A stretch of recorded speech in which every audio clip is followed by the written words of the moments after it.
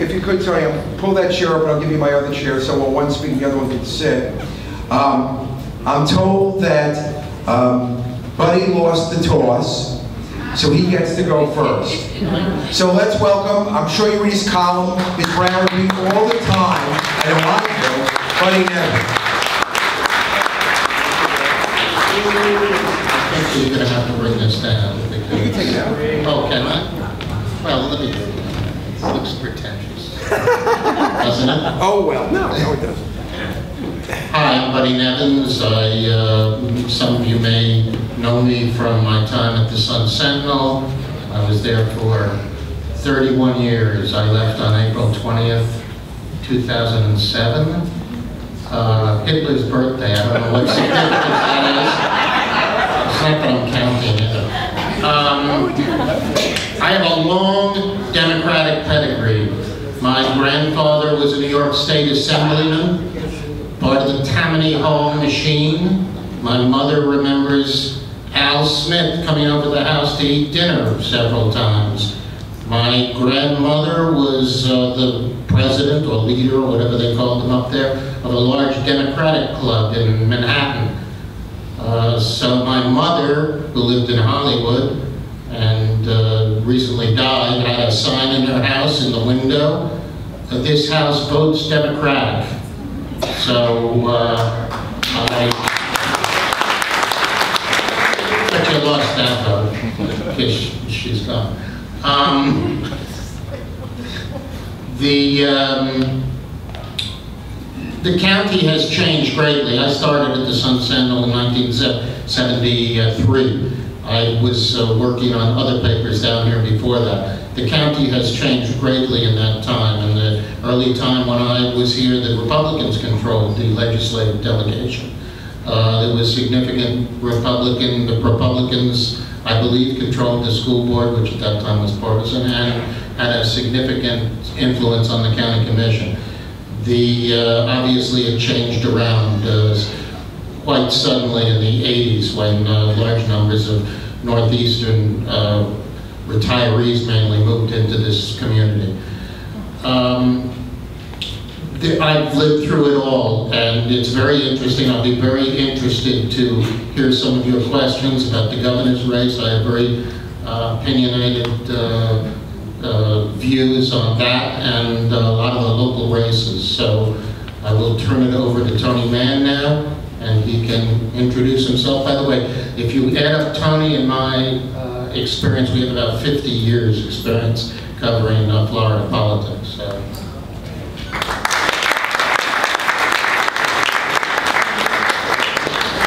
What a way to play to the crowd with that Democratic background. I mean, know, um, I'm not going to do that. I don't have that uh, Democratic or Republican uh, pedigree. Um, I've been covering politics for a long time, uh, about uh, a dozen years now here in Florida, and before that for a long time in Illinois, um, where the politics is just as uh, rough and nasty and fun and entertaining as it is here in Broward County. Um, this is a this is a fascinating place uh, if you're interested in politics, as all of you know, because there's a lot going on all the time, and people really care. You all here obviously are pretty passionate about it, but um, it's something that we care about too, uh, and that's why we enjoy writing about it and talking to people about it. So I'm really here to hear your questions, and um, I've been covering politics a long enough time that if I get a tough one, I'll either ask Buddy to answer it, or I'll just duck it the way uh, the way most politicians do. Um, 2014 is going to be a great year. I think Mitch was right. This is the year to kind of kick it off with something like this because it's going to be uh, fascinating to see what happens. And I think anybody that tells you that uh, he or she knows what's going to happen in November uh, has no idea what they're talking about. So uh, with that, uh, I'd really like to, I don't know how you want to do the Q and A if Buddy and I just Sure, stand up. both and then- stand and we'll. but- yeah, let's figure out, how I'll take this out. What I thought we'd do is if you have a question, please stand. Um, Almost any question is appropriate, almost. Um, And also designate if you want a particular person to answer it or both. And we'll try to keep, try to keep the questions short, and as I like to say on Jeopardy, for God's sake, put it in the form of a question. Okay? Otherwise, we'll be here till Thursday. And there still won't be a question. So again, let me ask you to speak. Yes, Sheila, why don't you stand up? This is Sheila Franklin from Fort Lauderdale. She throws a heck of a party. Go ahead, Sheila. Uh, I read that uh, the editor of the Sun Sentinel was also the head of the Florida Tea Party. So how does that affect the editorial policy of the Sunset? I think on that one, we'll turn that one over to the Sun Sunset reporter, Tony Man. This should be easy. That is easy. I don't believe everything you read. I mean, that's, that's ridiculous. Sunset. So the answer, the short answer was, no, that's incorrect. Yes, Ms. Coral Springs, please stand, shout us your question. Um, I want to know your take on the Panthers hot off the press that they want money. Right. Okay, we're gonna have Buddy answer that and then Tony. Because Buddy might be able to be a little more opinionated. The question is, uh, what about the Panthers? Well, the Panthers have asked for a piece of, a bigger piece of the bed tax money to, uh, basically the state. And although they claim they're not gonna move no matter what, that's bunk, really. The, the fact is that the county is gonna have to give them some money, because uh, without, they, they threw down their trump card today. Uh, They've got Live Nation, which does something like 80% of the other shows at the arena, who say they'll leave if the Panthers leave. And that will leave an empty arena, which you'll be paying for. So uh, they really have to cut some sort of deal with the Panthers. Unfortunately, the county was outlawyered uh, when they built that thing, apparently, with this uh, uh, contract, and uh, like so many things the county does, they didn't get it right. Tony, do you want to? I think one of the biggest unknowns is just what the, what the Panthers really want. Um, You know, I don't know that it's money as much as it is the race to develop a site that could be uh, potentially, if all goes the way they want, be a casino. That's where the real, real, real money is. The way they're pitching it is they would accept doing the development uh, of that area, but uh, that could be the thing that is really the sweetener for them, as opposed to cash. I think Florida will get a lot closer to being able to run a bingo game. Um, Yes, let's go over this way, please stand. Yes, ma'am, what's your question? Question is for Buddy Nevins, who alluded to uh, having an opinion on the upcoming gubernatorial race. I'd like to hear your opinion, if you would mind, in in terms of Charlie Crist and Nan Rich and the upcoming battle. The question was for Mr. Nevins about the governor's race, and she said something about an illusion or a deluge, delusion. I think uh, the Democratic Party has the best chance they've had in a long time to win the governor's race. This is more to do with the quality of the candidate on the Republican side than anything the Democrats have to throw at them. Uh, He has some of the worst poll figures and some of the highest negatives that I've seen in in my entire career, frankly, this far into his term. Um, As far as the candidates go that are going to be fielded against uh, in the Democratic primary, there's only one person who can beat Rick Scott, and that's Charlie Crist.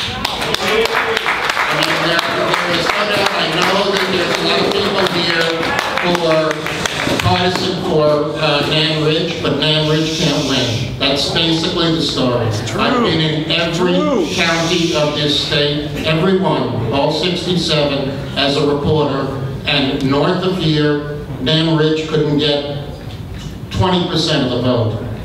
And she's too liberal, she's too uh, Jewish, she's too Broward, and frankly, she's a little too old. So, uh, and did I mention she was too liberal? I think, I think Buddy really needs to tell us how he really feels. That would help, you know, would help the process here. Uh, Hold on, shh, shh. Tony wants to respond to that question too, so I don't know if he'll be as forthcoming. Uh, Well, Buddy's in the opinion business these days, or can be in the opinion business these days. Uh, Something else that, he said at the beginning of his uh, answer is really interesting and really important. He said the Democrats have the best chance of winning the governor's race that they have had in a long time. Uh, I don't think you should take anything for granted. I think Rick Scott is going to be very, very difficult to beat. The economy is getting better, and just the way an improving economy helped President Obama, an improving economy is going to help Governor Scott, and he's going to have plenty of money. I think the Democrats will have plenty of money also, but uh, you should not assume that because Buddy was putting it positively that you have a good chance. Uh, You shouldn't take it for granted or assume that you even have a- a a great chance of winning. Okay, let's, we're gonna go from side to side. Um, Hold on. Uh, yes. Shh. Your, your understanding and your feeling about the standing ground law in the state of Florida. Okay, who would like to grab that? The question was their, their thoughts on the stand your ground law. As a backdrop, let me remind people that there was just a jury verdict, another ridiculous jury verdict. Uh, That was a case in which uh, this gentleman decided that these kids in a van uh, loud music and decided to fire multiple, multiple, multiple rounds into the van. And his defense, because of stand your ground, was, I thought they had a gun, which of course never existed. So that's the most recent backdrop to the uh, need for stand your ground to change. But remember, this is Florida. Yes, who wants to pick that up? Well, and uh, what Mitch said is exactly the thing to remember. This is Florida. It's not going to change. It's not my opinion about whether it's good or bad. Uh, Stand your ground is not going to be changed by uh, the Florida legislature. This. Well, let me say, it just before I go to the next question, let me say why. I'll repeat again. It's the Florida legislature. They control both chambers and they control the governor. If you have a governor, the governor has a veto pen. And that veto pen, whether used for a change your ground statutory adjustment or another bill where you could hold that hostage, the fact that one person has a veto power could affect all legislation, let's remember directly or indirectly. That's why the governorship is so important. Yes, sir, the gentleman in the back. I have a question for both of you. How do you think the fact that medical marijuana is on the ballot is going to impact the election either favorably or unfavorably? The question was, how will medical marijuana affect the ballot? Um, You notice he's not standing real well. Oh, yes, who wants to take that? Or both, both. Uh, We actually might disagree on this one a little bit, uh, Buddy and I. Uh, I think it is going to have some effect at the margin in increasing a turnout among people who are probably more likely to vote Democratic. That's because, let's face it, in midterm elections, your party's turnout goes down more than the Republicans' turnout. That's a big part of why uh, you got your clocks cleaned in 2010. Democratic turnout goes way down.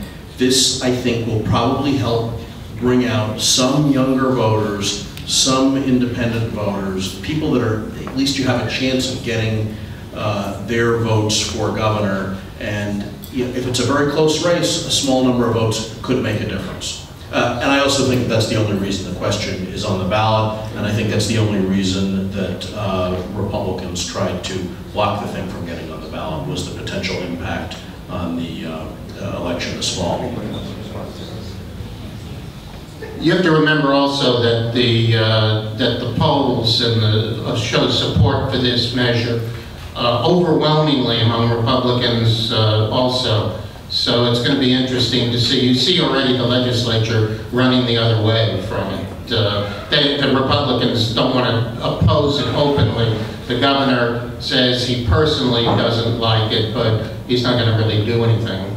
Um, but yeah, I agree that it, it could bring out some independents and uh, marginal Democratic voters who uh, normally wouldn't come to the polls. Uh, We'll see. Yes, sir. Uh, David Franklin from Fisher Park is one to the radio show. Okay, a lot of people, uh, when I bring up Charlie Crist's name, especially among women, you know, they cringe, you know, but as the gentleman right said, Charlie Crist is the best hope for winning, because we saw it in 2010 and with Alex Sink, where, you know, Democrats took it for granted and everything. What I feel would be good. We need a question, sir. Okay, so question is, do you think if um, Nan Rich is not chosen to be the Democratic nominee, she'd run as a third party independent? No. Um, I think I could save us some time and say, I don't believe she'd run as a third party under any circumstance. I could be wrong, but I think we would all agree with that. Um, she's been a strong Democrat, and, you know, I, if, if she was eliminated, I certainly don't think that would occur. Do you both concur with that? Well, well, also you can't, because the primaries have to be qualifying uh, period to become an independent candidate, so it couldn't happen anywhere.